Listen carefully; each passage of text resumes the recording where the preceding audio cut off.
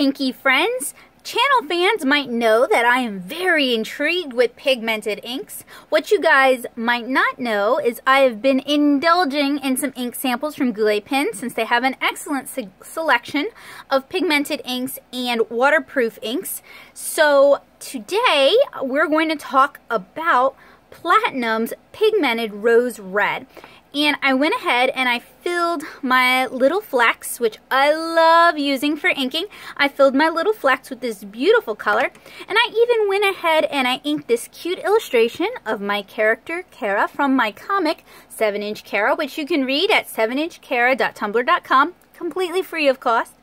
Um, or you can order from my shop if you're so inclined. Uh, check the description below. But anyway, enough plug. I went ahead and inked Kara, and it has had plenty of time to cure. And this was inked on Holbein watercolor paper. It's a very, um, it's really more like a cardstock with a nice texture on it than a watercolor paper. But it works fine. And um, those of you who frequent the channel might remember this pigment ink test this pigment, pigment ink test or that pigment ink test. These were all Storia inks. This is Lion, Dancer, and Magic. And I just love how they handle, how they play well with watercolor, how they add a cute amount of tint to the watercolor. So I am super duper excited about pigmented inks and I enjoy using fountain pens and I enjoy using fountain pens for inking. I find it quite relaxing, perhaps because I see it as a hobby rather than a profession. So I'm going to go ahead and remove the pencil lines from this image off camera, of course, and then we can start watercoloring. Quick notes. One, if you erase too hard, you will pick up some of the pigment even if you allowed it to cure fully. So that's just something you want to keep in mind. Don't scrub too hard. I highly recommend use a white vinyl eraser. They tend to be easier on your paper. Another is that you can still see the graphite in some areas where I applied it in a particularly heavy fashion. Um, up here, I actually tried scrubbing to remove some of that graphite, and that's why it lifted up some of my ink. Even, I think a light eraser, eraser will have the same effect. Another thing I wanted to note is that everything has been purchased out of my own pocket. Um, while I do enjoy Goulet pens, they are by no means a sponsor, although I would of course be open to that. I mean, who wouldn't?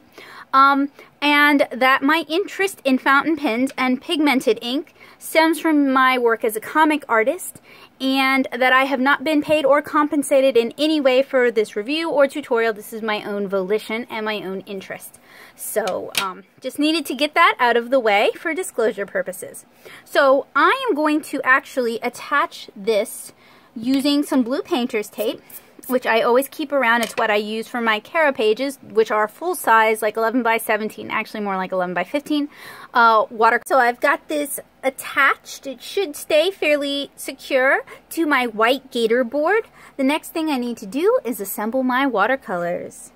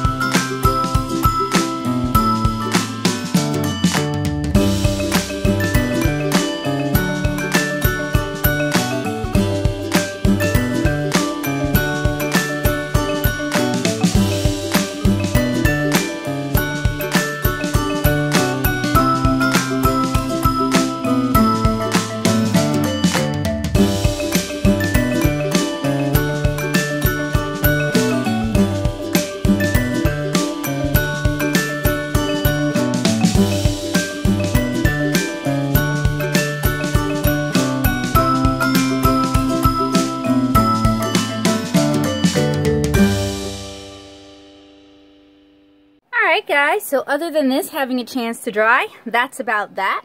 I really enjoy the color of Platinum's pigment-based rose red ink. And as usual, I really enjoy inking with my Noodler's Flex. It has just the right amount of give. If you're looking for a fine tip or a smaller line, the Flex is the way to go. And if you want a larger, broader line, I think the Ahab is also a way to go. And if you want to go even bigger than that, you can go with the Jinhao modification. But I have not tested any of my pigment inks other than the Platinum Carbon Black with that, so I can't actually tell you um, how well some of these color inks would behave in there. So I hope you guys found this field test helpful. I hope you found it useful.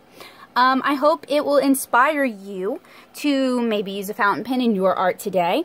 And I'm always eager and happy to put out information on watercolor and waterproof inks. And I know that there's sort of a dearth of testing and information regarding um, inks for artists in the fountain pen community. So I am happy to oblige. If you would like to see me test a specific ink, let me know. And if it's available in a sample, I'll get a hold of it. But I've been amassing a small collection myself, so I may already have it and it may already be in the works. Thank you guys so much for watching. If you enjoyed this video, please check out some of the other videos in my Fountain Pens playlist. It's a playlist aimed at artists who are interested in fountain pens rather than necessarily fountain pen enthusiasts. But if you find yourself in both categories, please do take a look. And if you enjoy this sort of content, make sure you subscribe because I update with this sort of stuff, art tutorials, art tests, art demonstrations, twice a week, every week. So I'll see you guys again really soon. Bye!